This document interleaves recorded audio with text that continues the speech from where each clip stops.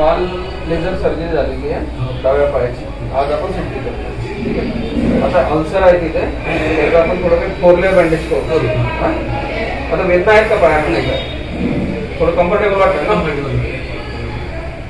तर आता यांचं लेझर झाल्यानंतर आपण फोरले बँडेज करणार आहे. आणि मग ते अल्सर हिलिंग प्रोसेस आता चालू होईल. लेझर प्लस फोरले बँडेज या दोन्ही अल्सर. काय औषध देतो मी. सेवन डेजचे आपण औषध दिलेलं आहे सात दिवसानंतर फॉलोअपला बोलू आपण. थोडंसं बघ थोडंसं बाहेर. आज आता दुसरा दिवस आहे लेझर ॲब्लेशन व्हॅरिकोज वेन्स केल्यानंतर आणि पेशंट एकदम कम्फर्टेबली चालू फिरू शकतात. तर लेझर ॲब्लेशन व्हॅरिकोज वेन्समध्ये हा फायदा आहे की सर्जरी झाल्यानंतर पेशंट चालू फिरू शकतो. पेशंटला काही टाके पडत नाही चिरा द्यावा लागत नाही. तर हे लेझर ट्रीटमेंट करण्याचा फायदा आहे. तर ही जी लेझर ट्रीटमेंट आहे ही जी सर्जरी आहे ही आता पुढे मी इथे दाखवणार आहे. यामध्ये आपण सर्वप्रथम काय करतो की जे व्हॅरिकोज व्हेन्स आहेत ज्या डायलेटेड व्हेन्स आहेत इनकॉम्पिटंट पर्पोरेटेड आहे तर कलर डॉपलरच्या अंडरमध्ये आपण त्याची मॅपिंग करतो. आता समोर जी तुम्ही बघताय खाली कलर डॉपलरमध्ये ती ग्रेट सिपनस वेन आहे. ही डायलेट झालेली आहे कारण जो व्हॉल आहे सिपॅनो फिमोरल जंक्शनला व्हॉल जो आहे तो इनकॉम्पिटंट आहे. त्यामुळे ब्लडचा रिफ्लक्स असल्यामुळे ही व्हेन डायलेट झालेली आहे.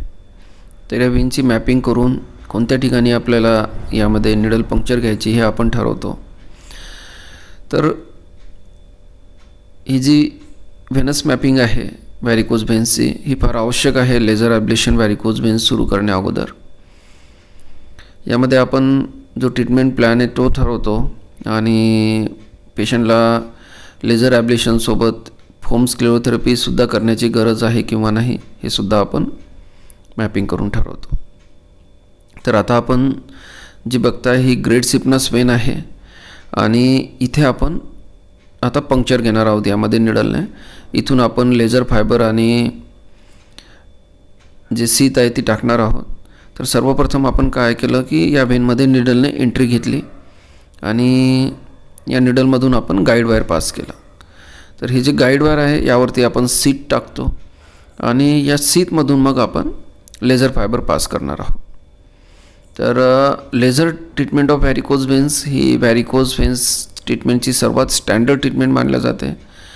पूर्ण जगामध्ये ही वर्षानुवर्ष केल्या जाते स्टँडर्ड ट्रीटमेंट आहे आणि याचे चांगले रिझल्ट आहेत आणि वेळीच जर तुम्ही ट्रीटमेंट केली तर पायामध्ये अल्सर होणे हे सुद्धा टाळू शकता. आता यांच्यामध्ये यांनी लेट केलेलं आहे त्यामुळे पायामध्ये अल्सर झालेले ते तुम्ही बघू शकता. आता आपण गाईड वायरवरती सीत पास करत आहोत आणि ही सीत आपली ग्रेड सिपनस वेनमध्ये जात आहे. यानंतर आपण गाईड वायर आणि डायलेटर काढून घेऊ. आणि यानंतर आपण ही जी सीत आहे यावरती मग लेझर फायबर पास करू. तर आता जो अल्सर झालेला आहे हा व्हेनस स्टॅसिसमध्ये झालेला आहे. म्हणजे पायाचं जे सर्क्युलेशन आहे ते व्यवस्थित नसल्यामुळे काय होतं? अशुद्ध रक्त पायामध्ये जमा होतं इडिमा होतो स्किन काळी पडायला सुरुवात होते खाज येते आणि त्यामधून अल्सर होतो. आता ह्यांच्यामध्ये खूप खोलवर अल्सर झालेले आहेत. यामुळे लेझर ट्रीटमेंट यांच्यामध्ये फारच आवश्यक आहे कारण लेझर ट्रीटमेंट केल्यानंतर जे सर्क्युलेशन आहे पायाचं ते इम्प्रूव्ह होण्यास मदत होईल आणि अल्सर हिलिंग स्टार्ट होईल. तर आता आपण ही जी सी टाकलेली आहे जी एस टीमध्ये तर आपण आता हे लेझर फायबर तुम्ही बघू शकता लेझर फायबर आपण पास करतो आहे याच्यामधून सीतमधून आणि लेझर फायबर आपण ग्रॉईन एरियापर्यंत टाकतो. म्हणजे कमरेच्या समोरचा जो भाग आहे तिथपर्यंत टाकतो. तिथे कारण ही जॉईन होते डीप फेनसोबत तर जे जंक्शन असतं तिथपर्यंत आपल्याला हे लेझर फायबर समोर न्यायचं आहे. तर तुम्ही जो लाइट बघू शकता हे आपल्याला याचं लोकेशन दाखवत आहे लेझर फायबरचं इथे लेझर फायबर आहे. आणि या ठिकाणी आता आपण कलर डॉपलरमध्ये बघणार आहोत की हे जे लोकेशन आहे ही कुठे आहे? म्हणजे जी आपली डीप वेन आहे त्याच्यापासून आपल्याला हे अडीच ते तीन सेंटीमीटर अंतरावर ठेवायचे आहे. तर या ठिकाणी आपण कलर डॉपलरमध्ये बघून सिपॅनोफिमोरल जंक्शन बघतो. आणि तेथून आपण हे लेझर फायबर जवळजवळ अडीच ते तीन सेंटीमीटर दूर ठेवतो. तरी तुम्ही बघू शकता. यामध्ये आपण जे मागे पुढे करत आहोत ते लेझर फायबर आहे. आणि ह्याचं लेझर फायबरचं आपण लोकेशन कन्फर्म केल्यानंतर मग यांचं मध्ये आपण काय करतो की टुमिसंट सोडतो.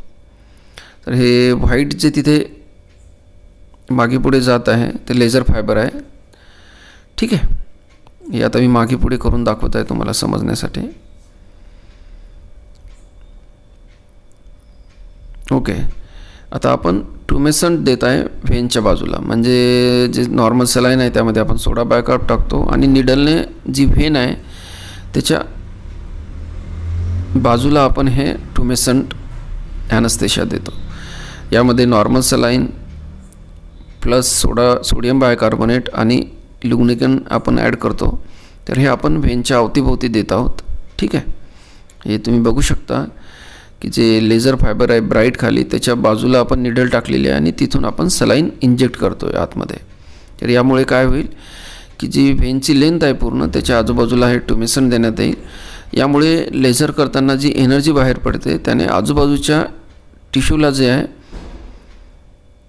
इजा होणार नाही. आणि बरोबर व्हेनच्या आतल्या भागाचं लेझर ॲब्लेशन होईल आणि आजूबाजूला हीट ट्रान्समिट होणार नाही लेझरची. तर यासाठी आपण हे टुमिसंट व्हेनच्या आजूबाजूला इंजेक्ट करतो.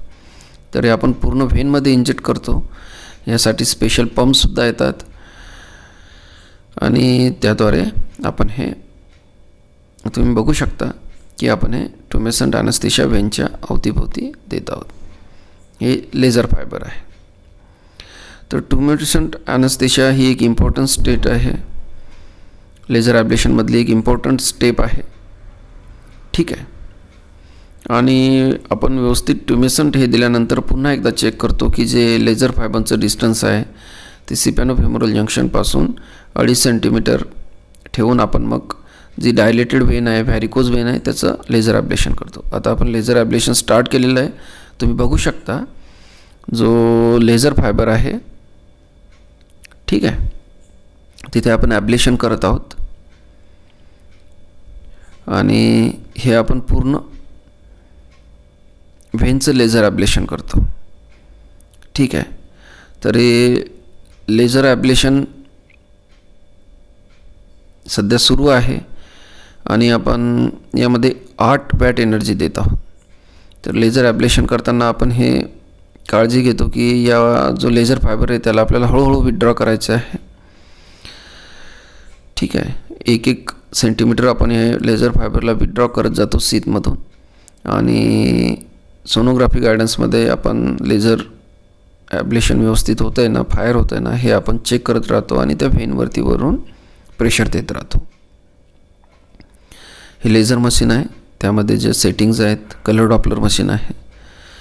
तर यांची आठ वॅट आपण सेट केलेलं आहे लेझर मशीनमध्ये आणि लेझर फायबरची जे ट्रीटमेंट आहे व्हेनची सध्या सुरू आहे. आता लेझर ॲब्लेशन केल्याचा ह्या पेशंटमध्ये फायदा हे होईल की पायाचं सर्क्युलेशन ठीक झाल्यामुळे पायामध्ये जो आपल्याला अल्सर दिसतो आहे मोठा तो ठीक होण्यामध्ये फार मोठी मदत होईल. यानंतर पेशंटचा आपण रेग्युलर फॉलोअप ठेवू. दर दहा दिवसाला अल्सर हील होईपर्यंत. आणि पेशंटला फोर लेअर बँडेज किंवा स्टॉकिंग्स आपण देतो. तर अशा प्रकारे लेझर ॲप्लिकेशनची प्रोसेस एकदम नॉन इन्व्हेजिव्ह आहे. याच्यामध्ये कुठे टाके चिरा पडत नाही. पेशंट कम्फर्टेबली चालू फिरू शकतो आणि त्याचे काही जे काम असेल ऑफिस वर्क असेल तो दोन तीन दिवसामध्ये सर्व जॉईन करू शकतो. या व्यतिरिक्त तुम्हाला काही शंका असतील तर त्या तुम्ही कमेंट बॉक्समध्ये विचारू शकता. हा व्हिडिओ इथपर्यंत बघितला त्याबद्दल धन्यवाद.